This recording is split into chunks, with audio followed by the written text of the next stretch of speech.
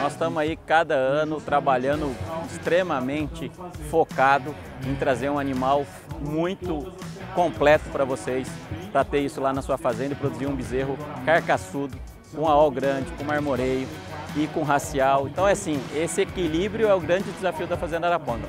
O que a gente vai ver é aquele Nelore funcional, equilibrado, com grande AOL, esse é um destaque muito positivo da Fazenda Araponga, o AOL, mas também com marmoreio, com equilíbrio, com racial, que é o que a gente tem trazendo. Dia 23 de julho, junto com a Ricardinho de Colau, nós estamos esperando vocês, nosso leilão Fazenda Araponga.